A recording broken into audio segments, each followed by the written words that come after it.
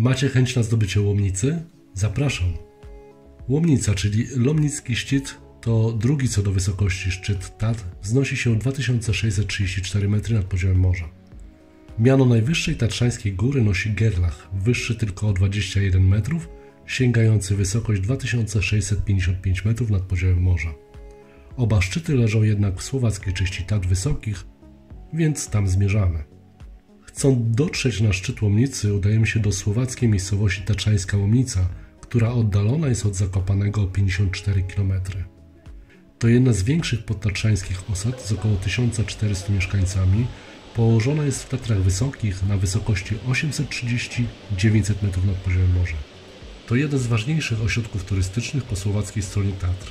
Słynący z dużej ilości hoteli, pensjonatów, kempingów, tras turystycznych i narciarskich oraz kolei linowych wożących turystów nad Łomnicki Staw i na Łomnicę.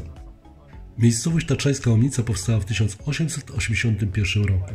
Początek ośrodka turystycznego datowany jest na rok 1892 i wybudowanie tu hotelu Łomnica, będącym wówczas największym tego typu obiektem w Tatrach. W 1905 roku powstał wielki stylowy Grand Hotel, który następnie zmienił nazwę na Grand Hotel Praga. W 1972 oddano do użytku pięciokondygnacyjny hotel Slovan. Tak taczańska Łomnica wielkimi drzwiami otworzyła się na całorocznych nie tylko słowackich turystów.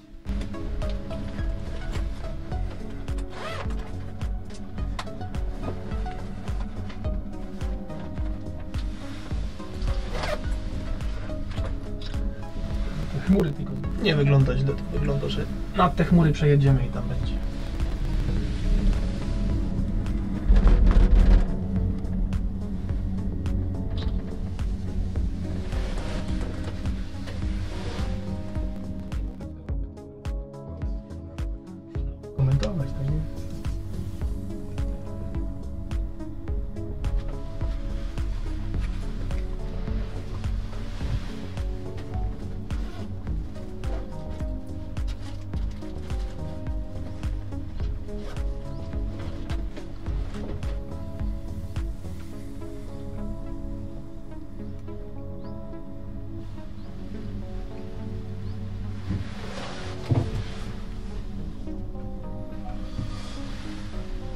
No, ale całe szczęście, że pogoda, bo wczoraj to cały Wczoraj dzień, nie, cały nie, dzień dało, nie? Tak, tak, tak. A, ja, a co jest na przykład jak y, wycieczka jest i taka pogoda?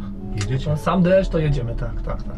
Czyli no zawsze jedziemy, no tutaj ewentualnie jakby burza zaczy- się zaczęła, no to wtedy jakby jest przeszkoda, że nie idziemy tą magistralą, bo to jest tutaj najgorsze, że trzeba wcześniej, prawda, rezerwować, a... No no, a płaci nic się nie kurczę widać. tego, wjeżdżasz, a tu, a tu, tu pogoda fatalna, nie? Niestety no tak, tak, tak, to jest tutaj ten minus, że czasem się jest na 2600 się w ogóle tego nie widzi, no bo wszędzie chmury, nie?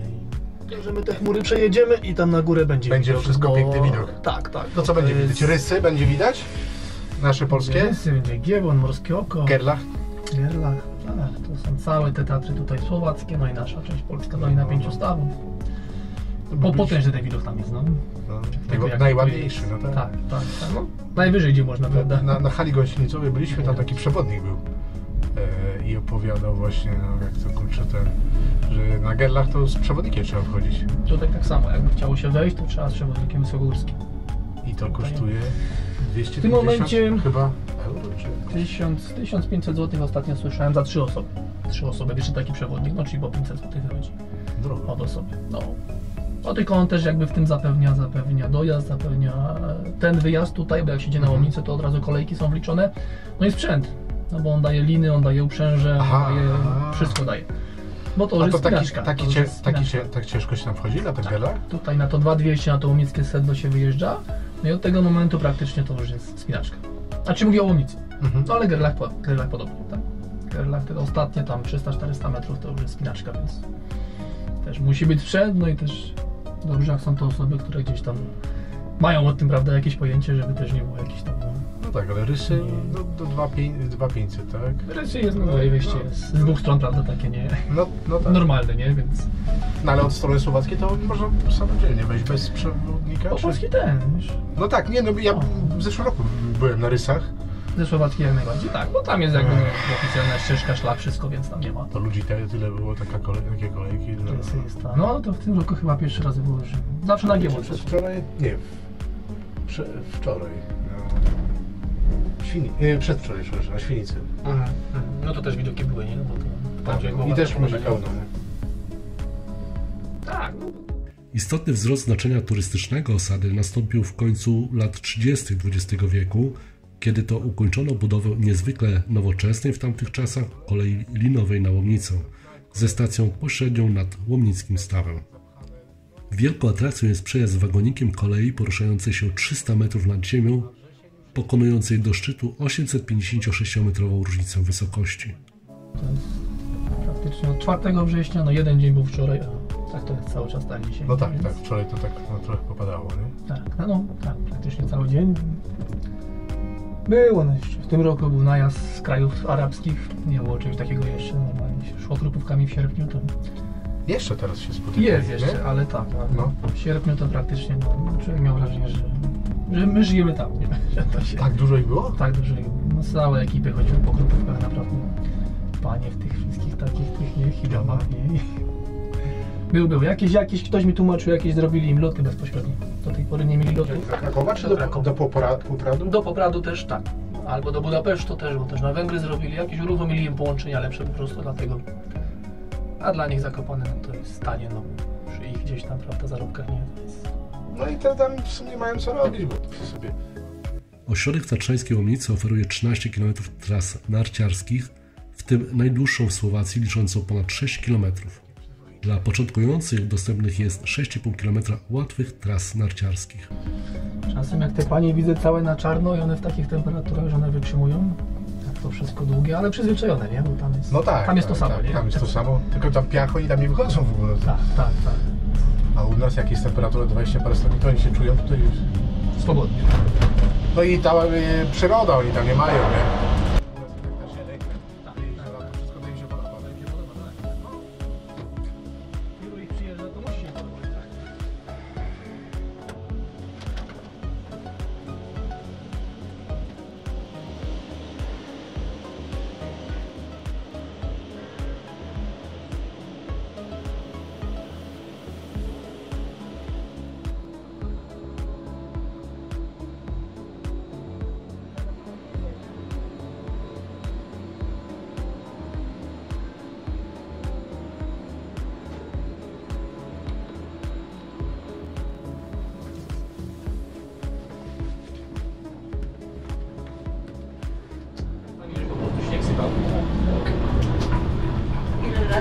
Ale wie pan co było Tylko jest kiedyś jesień, fajnie. żeby jeszcze... To było fajnie kiedyś, bo tak szybko nasypało, cały trzymało 4-5 miesięcy później. No, Myśmy- tak w październiku jak sypnie, to jest tak trochę za wcześnie, moim No. zdaniem. Ja tak? Listopad i No, tak w do marca niech faktycznie potrzyma. we wrześniu nasypało. Było coś, no, no, no, no. tak. No, I to tak sporo. Oblodzenie było tak przy wejściu na prawo.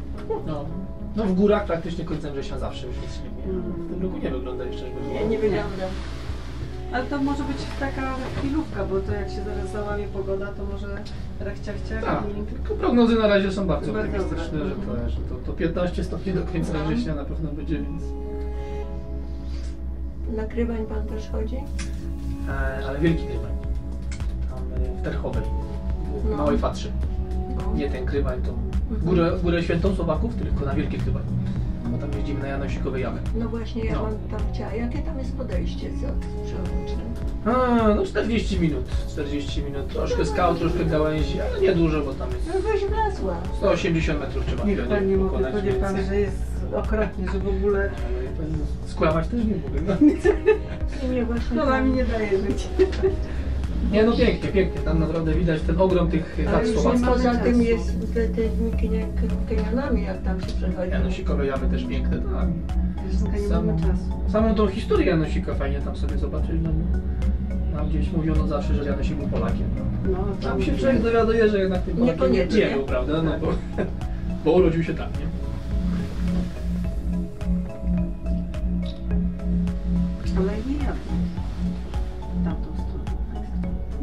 Nie już zakończyli. Nie, nie, nie, nie, nie. Tylko została, została To jeszcze tutaj idzie na same Korawskie jeszcze, sobotę Łomnica i I koniec. I długie tylko tak. Bratysława, Wiedeń, Budapeszt jeszcze, jeszcze zostają. A Pragi też nie macie już. Nie, A miała być, byliście? miała być dwudniowa właśnie teraz po Dwudniowa wrześniu, prawa. ale zrezygnowali, nie wiem czy nie było chętnych czy co, ale nie było, ale bym z wami pojechała. no, była, była ta flaga flana, ale No na spływ jeszcze pieniędzy można. Rynka trzeba przyjechać na początek sezonu, na początek sezonu, jak oni się dopiero organizują i zaczynają wyjeżdżać. Wtedy. Wiesz co tu się dzieje? Na początek sezonu macie dużo wtedy obłożenia? e, no mniej troszkę, nie. Koniec czerwca, początek lipca to tak jest jeszcze. No, ale ile ludzi Słabiej. zadowoleni. Ale A może jakieś szczegóły techniczne? Na potrzeby funkcjonowania kolejki wybudowano cztery stacje. Tatrzańskiej Łomnicy, stację przesiadkową Start, stację nad Łomnickim Stawem i na szczycie Łomnicy. Pierwszy odcinek o przewyższeniu 269 metrów i długości 1706 metrów z Tatrzańskiej Łomnicy na stację przesiadkową Start pokonujemy w 7 minut czteroosobową gondolą z prędkością 5 metrów na sekundę. Jej przepustowość to 900 osób na godzinę. Na trasie mijamy 9 podpór i 50 gondoli. Na stacji przesiadkowej Start przesiadamy się w 15-osobową gondolę, która z prędkością 6 metrów na sekundę dowiezie nas na Dołomnicki Staw. Czasie 8 minut pokonamy 597-metrowe przewyższenie i dystans ponad 1912 metrów. Obecna stacja została wybudowana w grudniu 2013 roku, a 37 gondoli jest w stanie przewieźć 2400 osób na godzinę.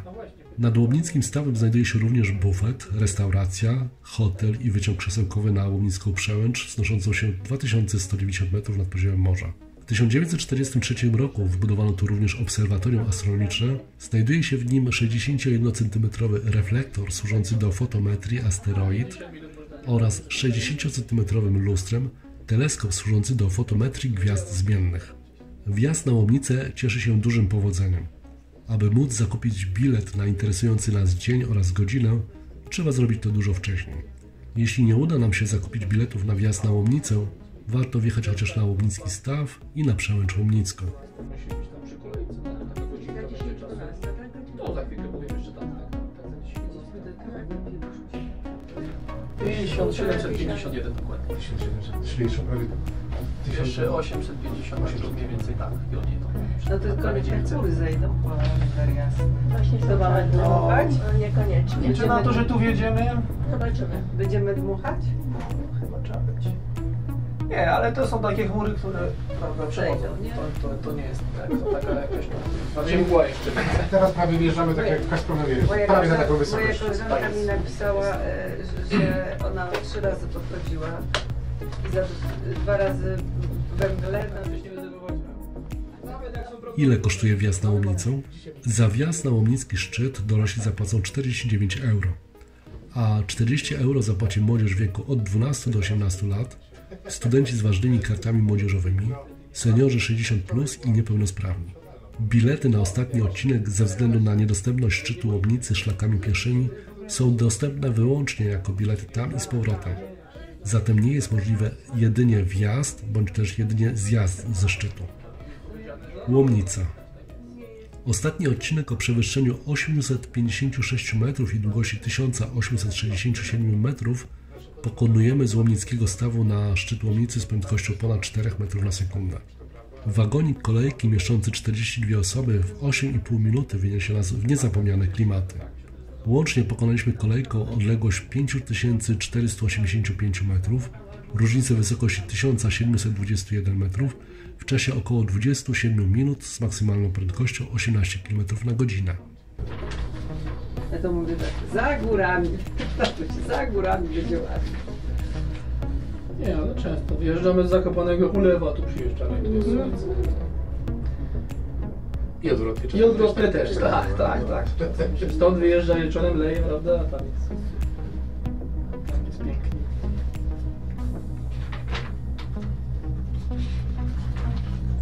No ale zorganizowani są ludzisko. Słowacy. No inaczej, inaczej niż... Tylko szkoda, że tak nam tych gór nie udostępniają, nie Polakom. Mało, mało. No to nawet właśnie z tymi No tak. wyjściami na Gerlach czy na Omnicy oni też... No, tak no, tylko właśnie, Dla, to- to- dla to- siebie ale- ten monopol tylko tak. Tak? Mają Taki, teraz? taki przewodnik tam właśnie na, na tym y, hali gąsienicowej. Tak Rozmawiałem z takim pozmieniało? przewodnikiem tatrzańskim, on mówi, że były przecież Tak, kiedyś tak, szlaki, takie to wspólne, polsko-słowackie, polikwidowali też Słowacy, Tak, tak, tak. tak. żeby po prostu Polacy nie, nie zadeptali im No, no bo jest dużo więcej jednak turystów w Polsce, prawda? No tutaj tego ruchu nigdy takiego nie ma. Jest więcej szlaków, Słowaków jest dużo mniej, prawda? Więc to się, to się dużo bardziej rozkłada. Myśmy tam z Białej na Gerlach szły. Ale same te wejścia nawet, oni teraz praktycznie chyba około 10 Polaków ma tylko mm, pakier wysokogórskiego tego przewodnika, A żeby jak, jest wchodzić, teraz, a... a jak jest teraz y, ze szkółką? W ogóle jest szkółka ternicka? O, Jak to, nie wiem, pan nie wie? chyba tak, ale ja Aha. Betlejemcy takich się kwalifikacji nie posiadam. Aha, nie nie, orientuję się że tak. może pan ten... Coś tam powie. To się do góry rozjaśnia, tak szybko, żeby nie być źle.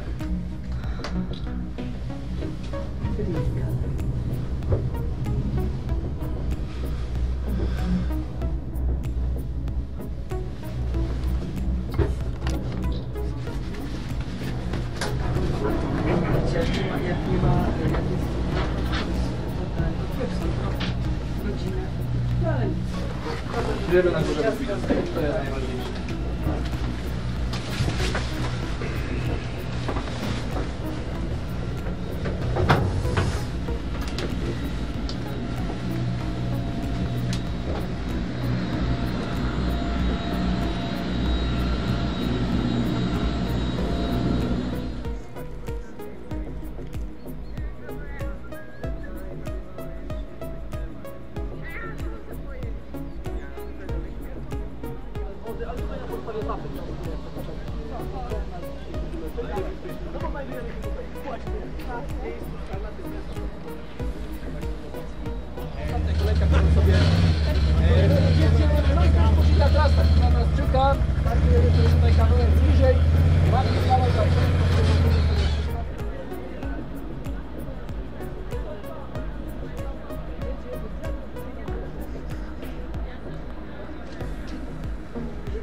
Nazwa Łomnicy pochodzi od Łomnickiego potoku przepływającego Doliną Łomnicką, zwanego dawniej po prostu Łomnicą. Od niego nazwę wzięły Dolina Łomnicka, Łomnicki Staw, miejscowość Wielka Łomnica. Nazwa potoku pochodzi od dawnego słowa łomy, oznaczającego bloki kamienne zrzucane przez rwący górski potok. Łomnicki Staw położony jest na wysokości 1751 metrów nad poziomem morza. Zajmuje powierzchnię 1,2 hektara, jego długość to 212 metrów, szerokość 85 metrów, a maksymalna głębokość wynosi 2 metry. Dawniej nad Łomnickim Stawem licznie występowały kozice i świstaki. Z tego względu nazywany był również Kozim Stawem. Wodę do stawu łomnickiego dostarcza potok Łomnica, zwany również Skalny Potok, szczególnie wiosną i po obfitych opadach deszczu. Zdarza się jednak, że staw całkowicie wysycha. W latach 30. i 50. XX wieku przeprowadzono próby uszczelnienia go, które jednak nie przyniosły oczekiwanego rezultatu. Dane o poziomie wody i wielkości stawu są więc zróżnicowane, zależne od pory roku i ilości opadów.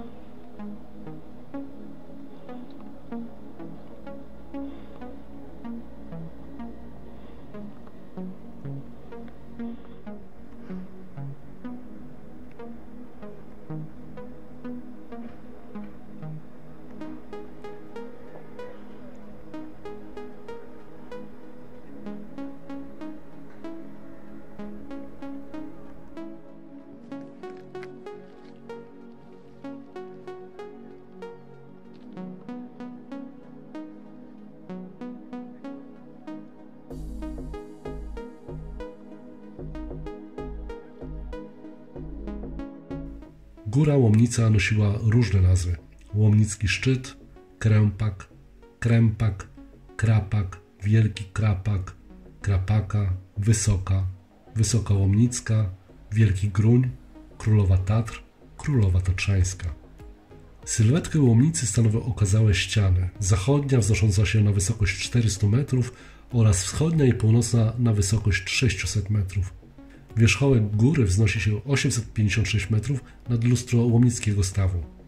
Pierwsze wejście na łomnicę odnotowano w 1793 roku i dokonał tego Robert Thomson.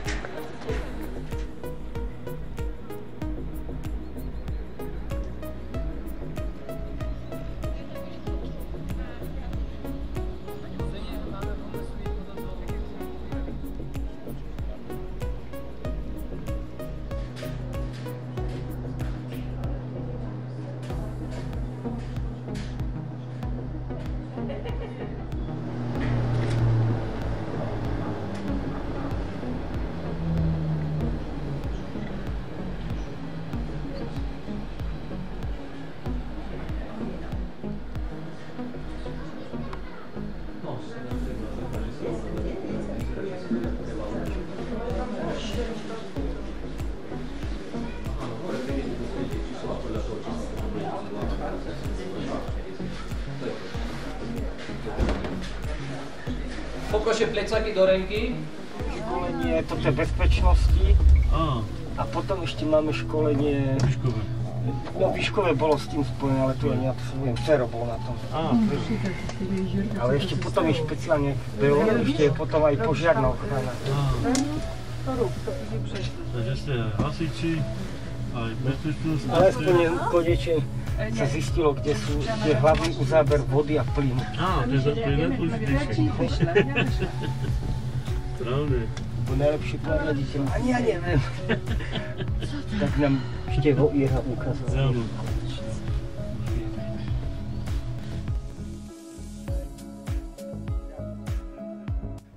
To może teraz coś o kolejce? Pierwsze pomysły wybudowania kolei linowej na którymś z wysokich szczytów po południowej stronie Tatrzańskiego Masywu sięgają 1895 roku. Wówczas to węgierscy naukowcy zaczęli głośno domagać się budowy stacji meteorologicznej i niewielkiego obserwatorium astronomicznego, bez których nie mogli rozwijać swoich badań m.in. nad karpackim klimatem. W grę wchodziło kilka lokalizacji: Rysy, Gierlach, Sławkowski Szczyt, Łomnica. Szybko interes wyczuły podtatrzańskie uzdrowiska, które zrozumiały, że nie chodzi tu tylko o stację naukową, ale o wielką atrakcję turystyczną.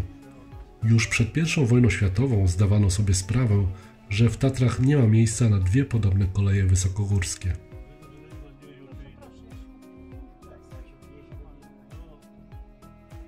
Stojąc u podnóża łobnicy, podnosząc wysoko w górę głowę i wzrok, zapewne wiele osób zadaje sobie pytanie: jakim cudem postawiono taką konstrukcję w tak niedostępnym miejscu?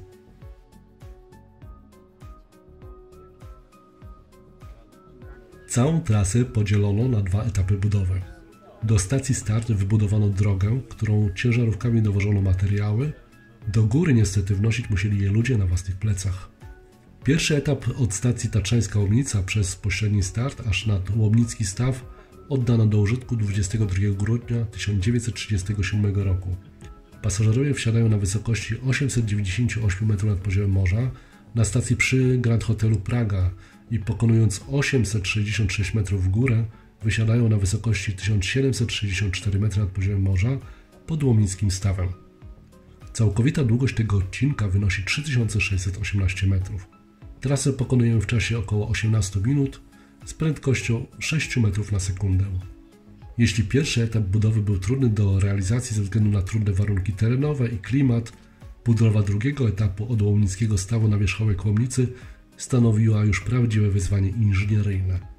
Przeciwko budowniczym stanęła już nie tylko konfiguracja terenu, ale także surowa górska pogoda, deszcz, wiatr, śnieg i mróz.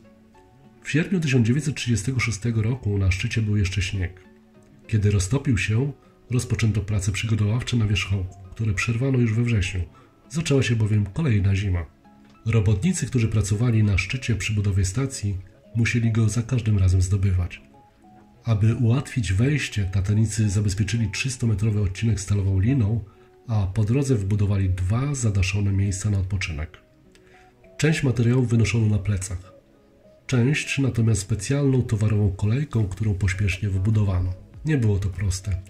Najpierw 30 robotników wniosło na szczyt linę o grubości 10 mm i długości ponad 2 km. Do niej przywiązano grubszą 16 mm linę, którą wciągnięto do góry. Za jej pomocą dopiero wciągnięto stalową linę o średnicy 26 mm, po której mogły kursować towarowe wózki przewożące do 600 kg materiałów. W szczytowym momencie budowy kolei pracowało tu 350 pracowników, którzy pokonując ponad 600-metrową różnicę wysokości, 2,5-kilometrową trasą przetransportowali na plecach ponad 40 ton drewna, 35 ton piasku i żwiru, 5 ton cementu i 7 ton konstrukcji stalowych. Po wybudowaniu budynków i podpór w marcu 1937 roku firma Weissner rozpoczęła montaż kolei. Prace montażowe zakończyły się pod koniec sierpnia. Drugi etap budowy kolei z nadłomnickiego stawu na szczyt Łomnicy oddano do użytku 23 października 1940 roku. Była ona jedną z najnowocześniejszych kolei górskich na świecie. Pokonuje 1870-metrowy dystans i 856 metrów wzniesienia w ciągu 8,5 minuty z prędkością ponad 4 metrów na sekundę. Podróż koleją zabezpieczoną podporą znajdującą się poniżej szczytu Łomnicy przebiega w końcowym odcinku o nachylaniu 51,5%. Początkowo obsługiwana była wahadłowo przez dwa wagoniki zabierające po 31 osób. Do dziś wjazd nią, mimo że przeszło już kilka modelizacji, stanowi niesamowitą przygodą. Dla zwykłych turystów kolej linowa to jedyna droga dotarcia na wysoki szczyt Łomnicy. Inne drogi są niedostępne. Łomnicę można zdobyć pieszo, jednak wejście jest możliwe dla doświadczonych turystów wysokogórskich tylko w towarzystwie uprawnionego przewodnika tatrzańskiego. Trasa prowadząca z Łomnickiej Przełęczy jest wymagająca i ubezpieczona licznymi łańcuchami. Predtým bol kabel zlomený. Nech stačilo, teraz už sa i vytrhlo. Bude mať